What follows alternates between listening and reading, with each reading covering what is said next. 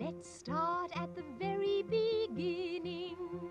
A very good place to start. Operetta. I am the very model of a modern major general, and it was called burlesque. Showboat. But old man River, he just keeps rolling along. Oklahoma changed the musical theater landscape instantly. Sit down, sit down, sit down, sit down, sit down, you're rocking the boat. I could have danced all night. When rock and roll came along and Elvis Presley appeared on your parents' televisions on a program called The Ed Sullivan Show, people were hypnotized by a man's pelvis and suddenly rock was the popular form of music. One, two, three o'clock, four o'clock, rock. Well, that'll be the day. You ain't nothing but a hound dog. Bum, bum, bum, bum, bum, bum, bum, bum, bum, bum. Come on over, baby. That's what the morning dew.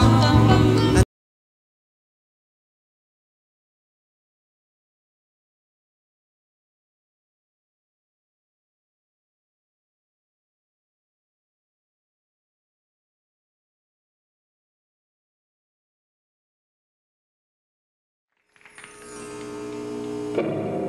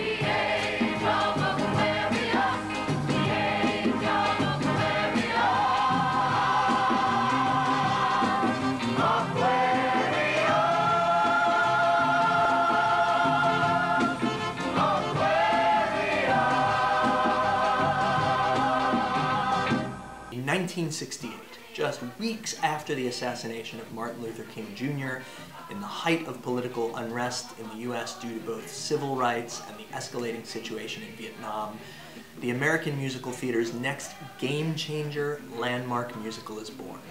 The world was introduced to Hair. Billed as the American Tribal Love Rock Musical, Hair officially marked the first time an that an entire musical score was written with rock music. This was the real sound of the day. Composer Galt MacDermot had never seen a Broadway musical, let alone tried to write one. But two actors, Gerome Ragni and James Rado, felt like they had something to say about the times and they wanted the music to reflect what they were experiencing. Hair had very little plot. Essentially, it's a cluster of fantastic period rock songs performed by a group of vagabond hippies in New York coming to terms with the times, specifically the draft for Vietnam. After over 20 years of the golden age format of structure where songs and dance carry the plot forward and everything serves the story, a new form was born the concept musical. Now, a concept musical is one that revolves around a theme, first and foremost. Some concept musicals have loose plots with a beginning and middle and end, but the plot is not the central focus. Theme is the priority, and characters are developed around that theme. Hair was a game changer not only because it brought rock music to the Broadway stage, and many songs from Hair were covered and made very popular radio hits, such as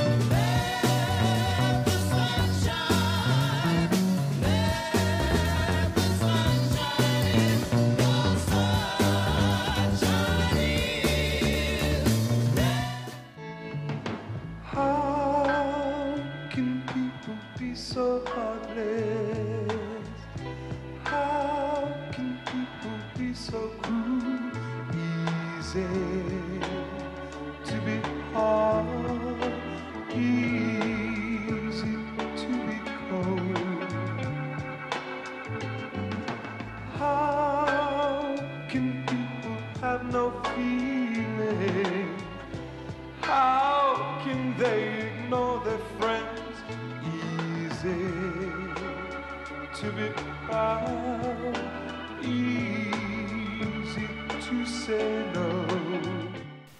But hair was also important because it made a statement. A statement about now.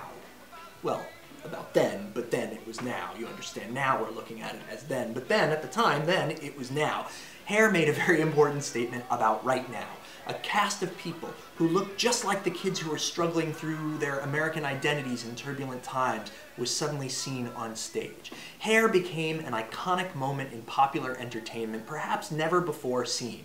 I mean, Showboat in Oklahoma dealt with real themes, but they were sort of long ago and far away. Hair brought the contemporary issues directly from the streets onto the stage at the Biltmore Theater.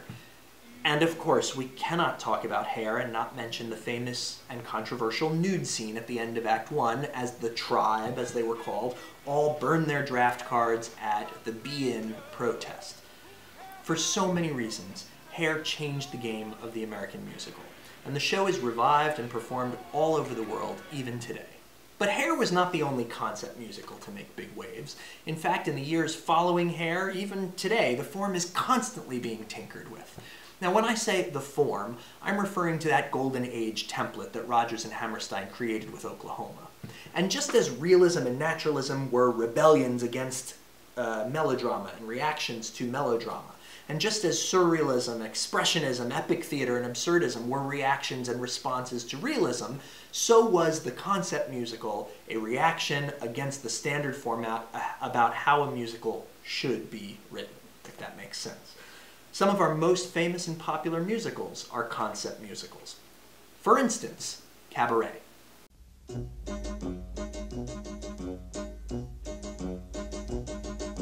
Willkommen, bienvenue, welcome. Fremde, étranger, stranger. Glücklich zu sehen, just enchanté. Happy to see you, bleibe reste stay. Willkommen, bienvenue, welcome im cabaret, au cabaret, to cabaret. A 1966 musical by composer John Kander and lyricist Fred Ebb. Kander and Ebb, who incidentally also wrote the song New York, New York. Start spreading the news. I'm leaving today. I wanna be a part of it. New York, New York. among many other popular hits. Cabaret is based on a novel called The Berlin Stories by an American writer, Christopher Isherwood, about his memoirs of traveling to Berlin in the last days before Hitler's rise to power. The musical has a fairly clear plot, but it's all told through the lens of a seedy nightclub called the Kit Kat Club. Now, if you remember my earlier lecture on epic theater, you'll probably recognize Cabaret as being very Brechtian in its presentation. The fourth wall is often broken, and characters comment subjectively on the situations. On a personal note, I've directed Cabaret twice, and I've always found it to be one of the most brilliant and important musicals because of the subject matter it addresses. But Cabaret is an early example of a concept musical because it messes with the form and it tells the entire story through a very presentational lens. And now, please, anything you require, knock on my door anytime, day or night. Also, welcome to Berlin. Welcome to Berlin. Famous novelist. Open the Remington.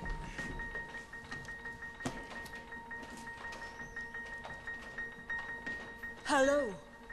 That's what you came here for? Sitting all alone like that, you happen to catch my eye. Would you like to buy a girl a drink? Would you like to buy a boy a drink? Welcome to Berlin. Famous novelist.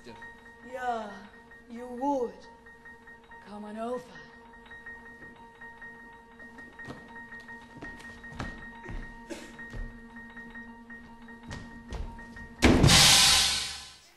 Just on a side note, Kander and Ebb also wrote the musical Chicago, which I suspect many of you have heard of, which is also a concept musical. Chicago, which came out in 1975, is based loosely on a true story of murderous women in prison, and its concept is that it's told like an old vaudeville show. So there's a great connection of dots for you, from vaudeville to contemporary musical theater. Another big concept musical was a show called Company. Company premiered in 1970, and it was based on a series of short one-act playlets all about married life. In Company, one central character, Bobby, is celebrating his 35th birthday, and he's surrounded by his married friends, and the, the whole musical is an examination of married life versus bachelorhood. The show's writer has often stated that Company is a musical completely without a plot. In fact, he says the whole musical is actually meant to take place in one moment of time in Bobby's head. Just as Bobby's friends show up for a surprise birthday party, the show jumps from scene to scene of Bobby interacting with his couple friends throughout the years. The show has been revived on Broadway twice before, and it was actually scheduled to open last month in its third revival, this time changing some of the genders of the characters to tell the story through a different point of view. But of course, that got shut down because of the coronavirus. But the most important thing I want to teach you about Company is the man who wrote the music and the lyrics. Do you remember a little while back when I told you that Oscar Hammerstein's name would come up again in the further development of the musical? Well, you can all breathe again because we're finally at that moment. You're welcome. Stephen Sondheim. I want to be able to stand in the back of the house and be proud of what I've seen, not just in terms of my own work, but say, yes, that musical was worth spending a year and a half of your life on. The songs I write don't really reflect me. They all are about getting into those characters that the book writer has made. Once I get a scene, I sometimes will put the scene on the easel of the piano and just improvise at the piano, just reading the dialogue. You must not write because you think it's going to be a hit, because it's expedient. The only reason to write is from love. If you say that name to anyone in the musical theater business or anyone who loves musicals, they're likely to tell you he's the right hand of God. Sondheim, who was born in New York in 1930 and just, in fact, celebrated his 90th birthday, grew up with his divorced mother in Doylestown, Pennsylvania, kind of near Philadelphia. And as a teenager, his mother brought him over to their neighbor's house, Oscar and Dorothy Hammerstein. And she knocked on the door and asked if her son Stephen could play with their son Jimmy, who was about Sondheim's age. What wound up starting out as his mother foisting him on uh, a celebrity couple uh, wound up becoming an enduring relationship, and Oscar Hammerstein became a sort of surrogate father to Sondheim. Sondheim grew to idolize Oscar, and he determined that one day he would write musicals just as Oscar had, and, and he started seeking tutelage around 14, 13 years old. In fact, Sondheim has often said that if Oscar had been an architect, he would have also become an architect. So we in the musical theater world are very grateful that Oscar Hammerstein was not an architect. Now, when he was 15, Sondheim wrote his first full musical by himself, and he brought it to his memoir, Oscar Hammerstein, for some honest feedback. Hammerstein told him this was the worst thing he had ever read. But then he proceeded to tell Sondheim why, and thus began Stephen Sondheim's education at the feet of musical theater's most important writer to that date. In 1957, a young Sondheim, just a few years out of college, was given the opportunity to write lyrics to a new Broadway musical. This was to be a show based loosely on Shakespeare's play Romeo and Juliet. The creative team included world-famous composer Leonard Bernstein, book writer Arthur Laurents, and a brilliant director-choreographer named Jerome Robbins. That musical, West Side Story, broke new ground in its intricate and complex music and also in how much dance was used to further the plot, way more than Agnes de Mille's work in Oklahoma and Carousel.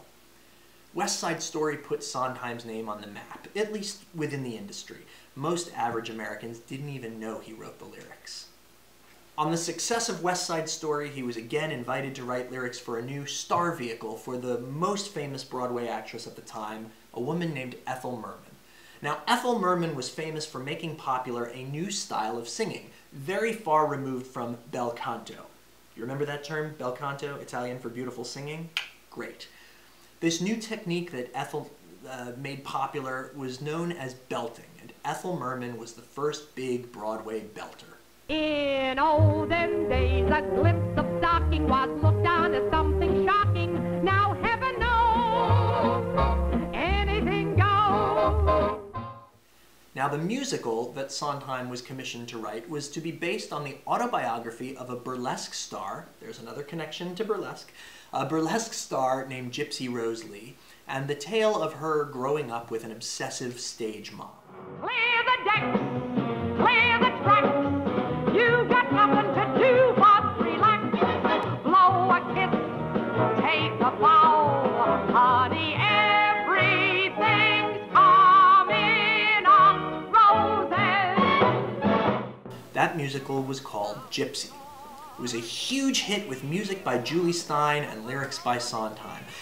And actually, Sondheim was originally supposed to write the music and lyrics, but Ethel Merman was not willing to take a chance on a newcomer, so she insisted that they get a well-known composer on the project.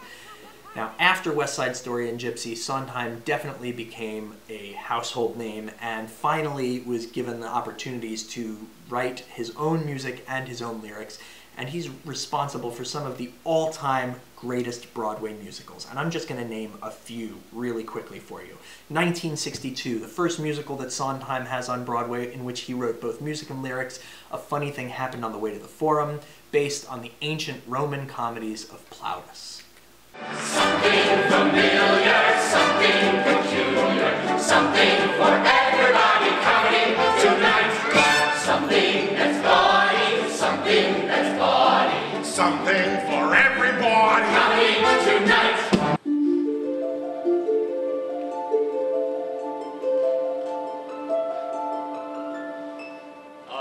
A matched pair. I'm a one the assembled woman. Together, an infinite number of mathematical possibilities.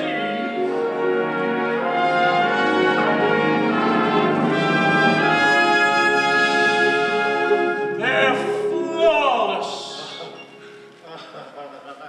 I quite agree. All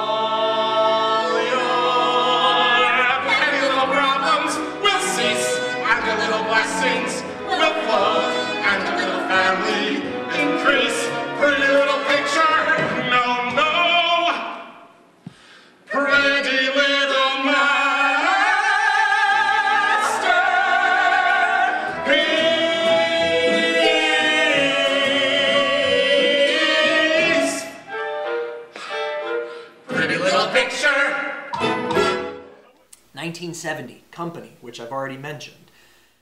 Amy, we're really getting married.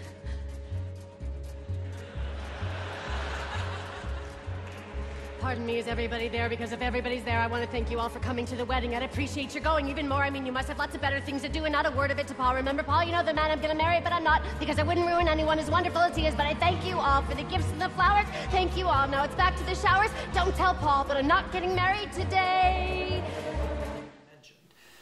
1971, Follies, about a reunion of old Follies performers meeting years later in a crumbling theater based loosely on Ziegfeld's Follies. You remember Ziegfeld's Follies from, you know, 15 minutes ago, right?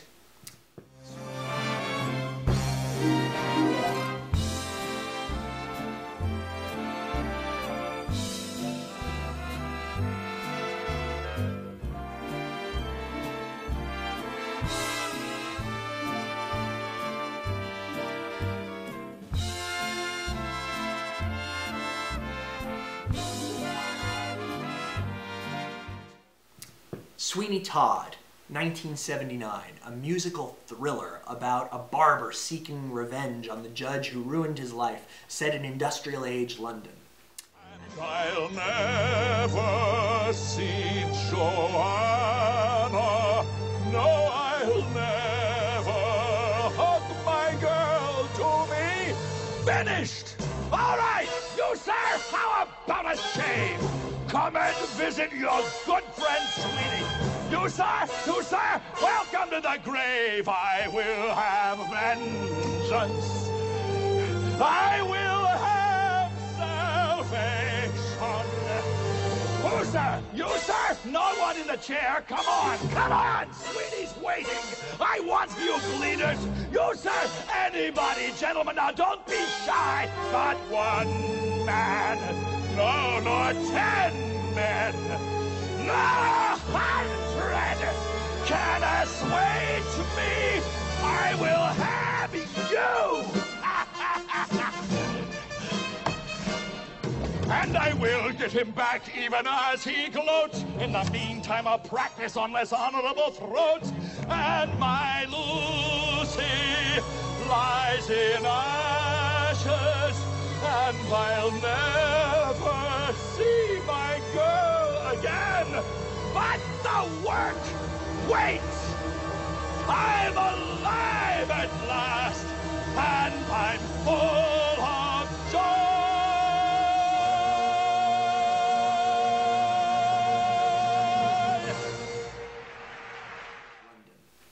And of course, Into the Woods, 1987, which many of you have probably heard of. It blends famous Grimm fairy tales into a new telling about morals and growing up.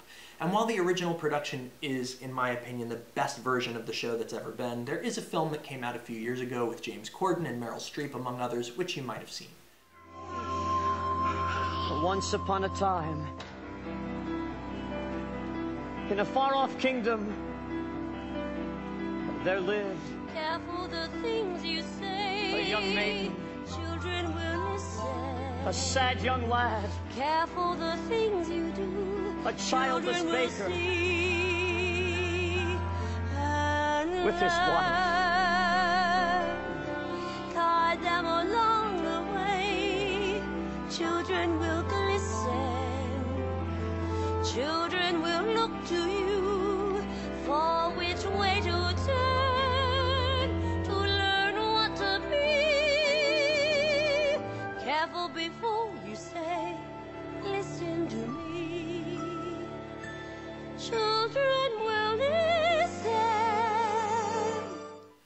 Now, there are so many other great Sondheim musicals to talk about, but as I said, we don't have the time.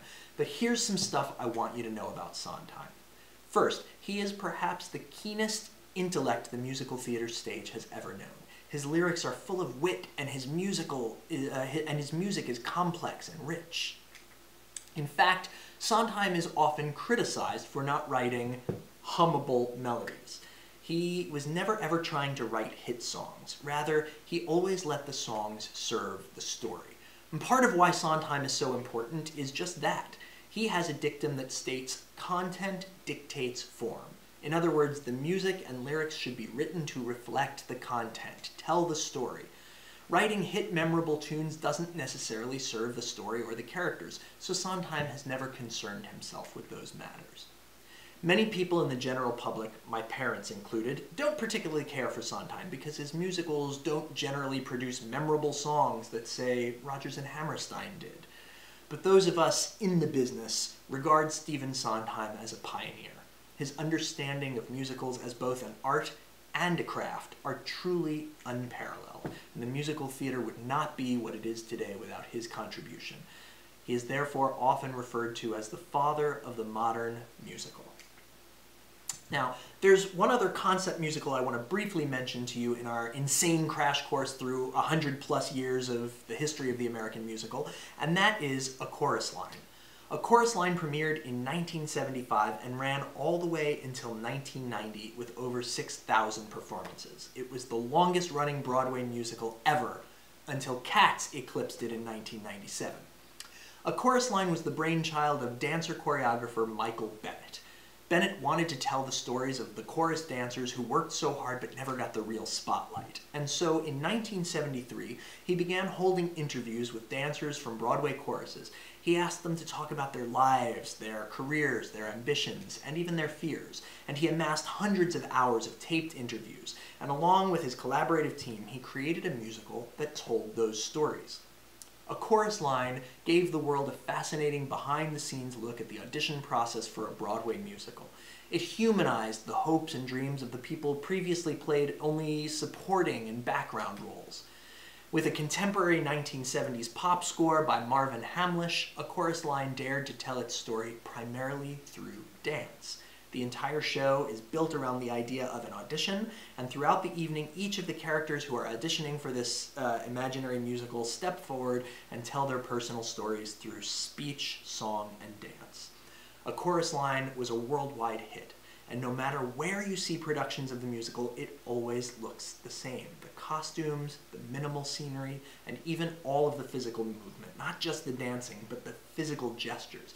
It is very nearly impossible to separate the musical from Michael Bennett's original concept and his original choreography.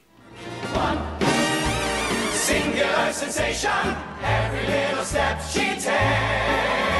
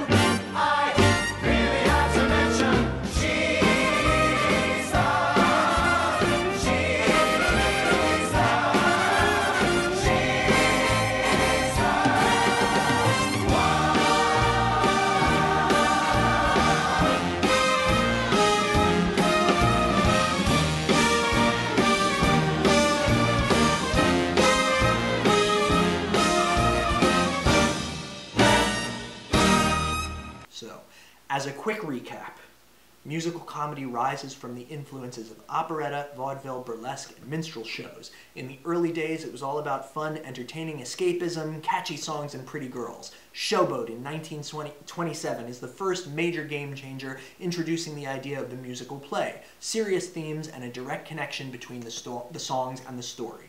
In 1943, Oklahoma begins the golden age of the, Amer- of the American musical, where, for over 20 years, most musicals were structured in the same fashion.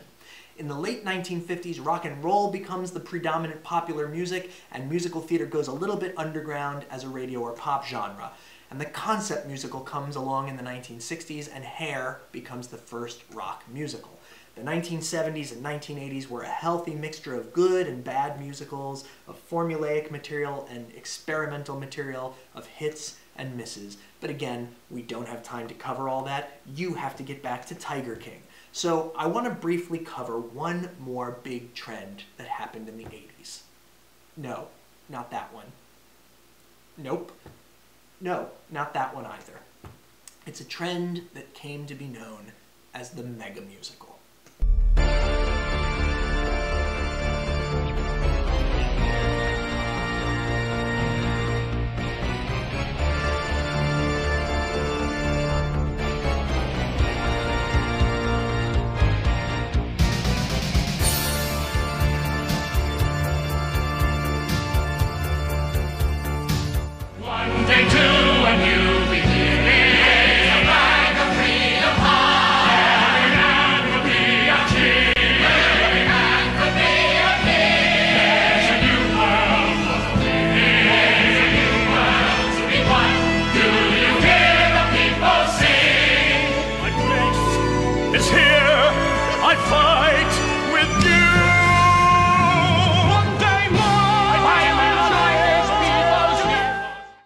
Trend that came to be known as the mega musical.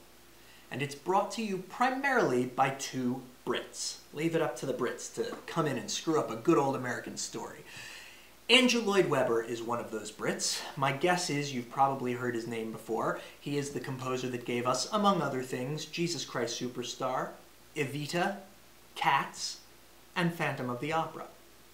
Cats, as I had mentioned a little earlier, was the musical that overtook A Chorus Line in 1997 as the longest running Broadway musical. And currently, that title of longest running Broadway musical is held on Broadway by Phantom of the Opera, which has to this date played for over 30 years and over 13,000 performances. Again, just by way of comparison, remember that Chorus Line eclipsed 6,000 to become the longest running musical. Phantom has now run over 13,000 performances on Broadway.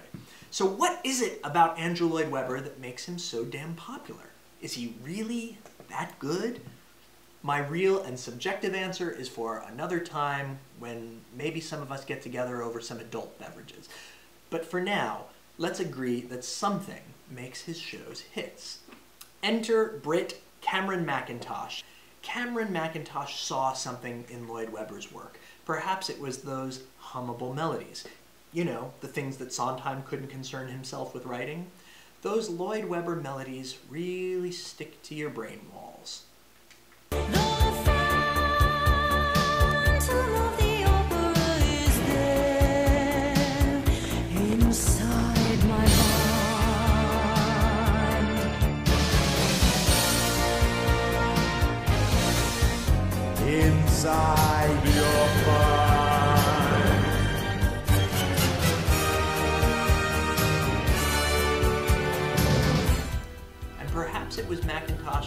Idea that less isn't more, more is more. He creates musicals with grand spectacle where the visuals and the sensual experience are far more prominent than the actual storytelling. Now, Sondheim always said that God is in the details, but Cameron McIntosh might just as well have said that God is in the money, because together with Andrew Lloyd Webber and also with the French composer-lyricist team of Alain Boublil and Claude Michel Schoenberg, the team that brought us Les Miserables and Miss Saigon, Macintosh provides with the mega musical a lot of bang for the buck. These shows all become wildly popular to the masses because they are so grand, so spectacular, and so accessible.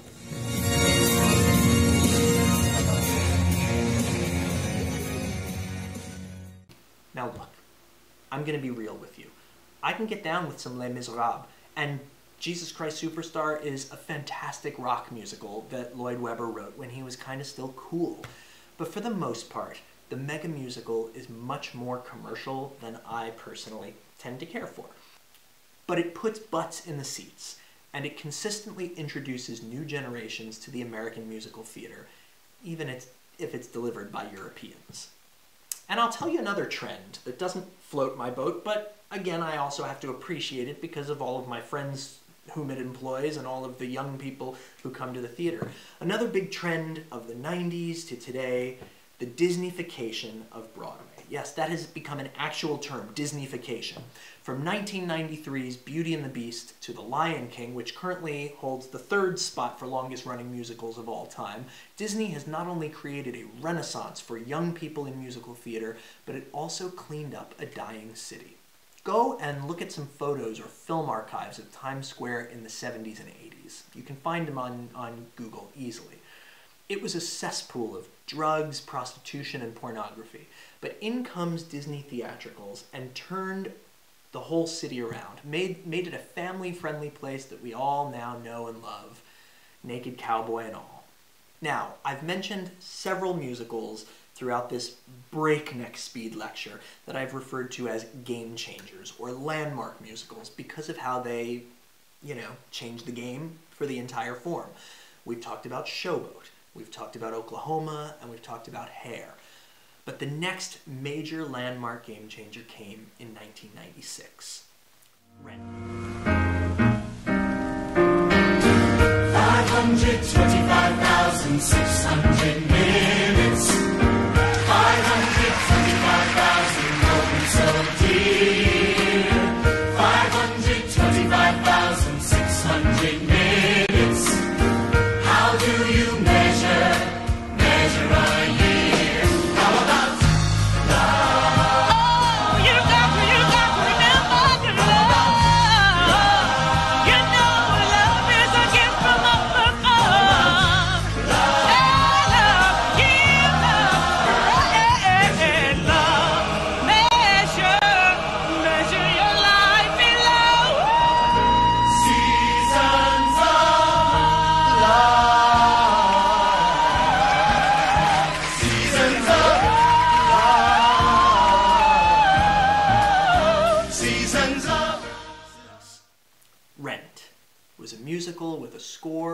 lyrics, and book, all by an up-and-coming young writer named Jonathan Larson.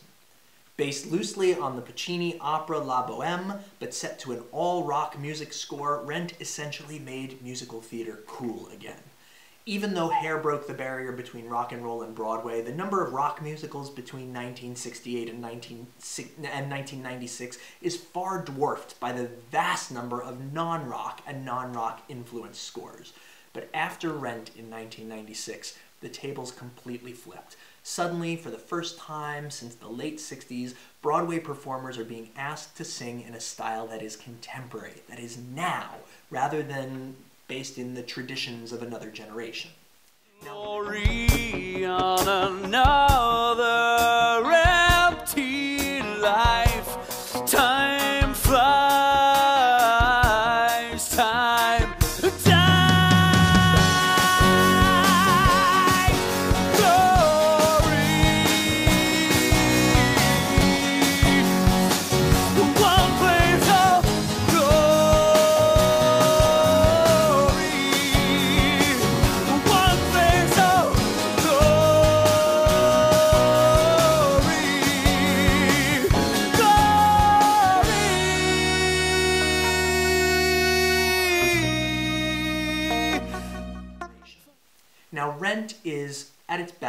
flawed musical, but it's flawed because it was unfinished. Jonathan Larson tragically died the morning of the very first preview of Rent. Now, the preview period, for those of you who don't know, is a time during which the musical would be rewritten and edited. It's presented to an audience, but it's still technically in rehearsal, so new songs might have been added, and some of the songs that you've heard in Rent might have actually been cut, uh, and the show was still in its process. But because of his death, his family, who then became the executors, the executors of his estate, froze the show as it was, and thus what we see when we see Rent is essentially still a work in progress. But that didn't stop Rent from becoming a runaway mega hit. Similarly to Hair in its time, Rent was dealing with young people and their issues right now. Then, now, you know what I mean. The show took on the AIDS epidemic, which was having a huge toll on the Broadway community. But perhaps most importantly, Rent brought rock music back to the Broadway stage, and since Rent, we've really never looked back. In the years following Rent's success, it's been documented that nearly 80% of all Broadway musicals are written in a rock, pop, or pop influenced style. Musical theater performers must now be more versatile than they ever had to before, being able to sing in the bel canto style of the old days, as well as the belt style that Ethel Merman made popular in the 50s and 60s. And now, Broadway actors must be able to believably sing rock and roll and other popular styles in a very authentic way. to a new kind of tension all across the alien nation where everything is meant to be okay. Television dreams of tomorrow.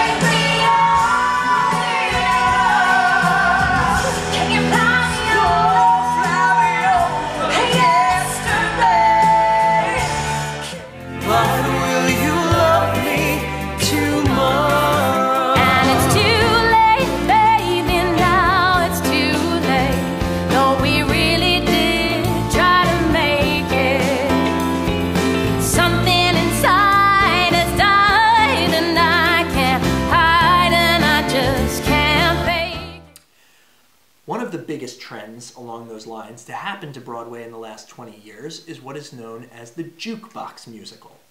A jukebox musical is where the song catalog of a famous pop artist, and these have ranged from ABBA to the Four Seasons to Carole King, all the way to Alanis Morissette, and so many more. Uh, but uh, the catalog of a famous pop artist is used as the score to a musical. So, some jukebox musicals, such as Jersey Boys, Beautiful, the Carole King musical, The Cher Show, use the songs of the artist in order to tell their biographical stories. Other jukebox musicals, such as Mamma Mia, Rock of Ages, and Jagged Little Pill use familiar songs to tell an entirely original story. Just as Sondheim was criticized for not writing hummable melodies, and Andrew Lloyd Webber made his living writing songs that people would come out of the theater singing, the jukebox, jukebox musical format works so successfully because the audience goes into the show knowing all the songs.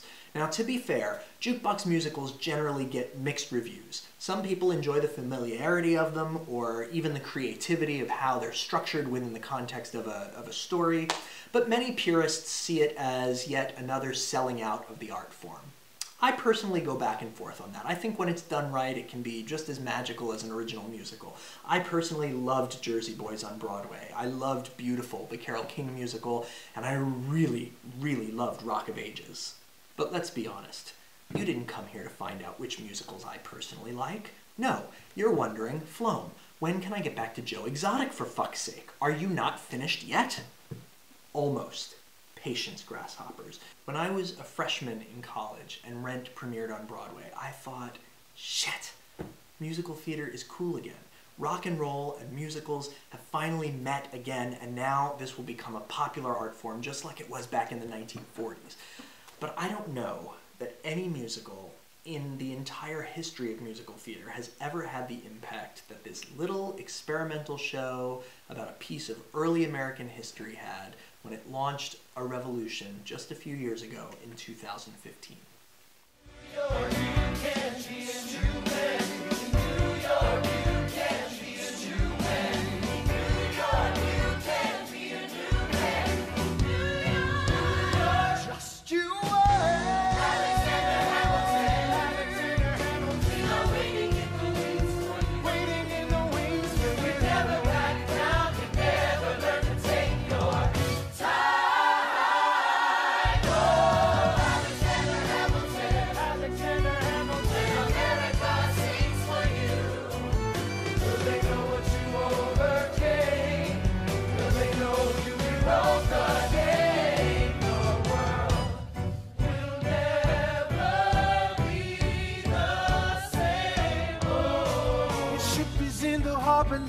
See if you can spot him. Another immigrant coming up from the bottom. His enemies destroyed his rep. America forgot him. We fought with him. Me, I died for him. Me, I trusted him. Me, I loved him. And me, I'm the damn fool that shot him.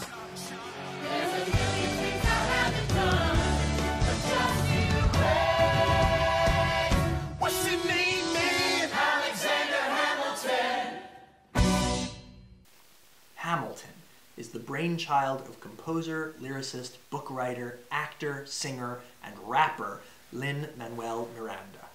Now a household name even for people who don't necessarily care for musicals. Lin Manuel had an idea after reading Ron Chernow's 2004 biography of Alexander Hamilton that it would make for a great contemporary musical story. Hamilton, the musical, charts the rise and fall of an immigrant and his impact on the foundation of the American government.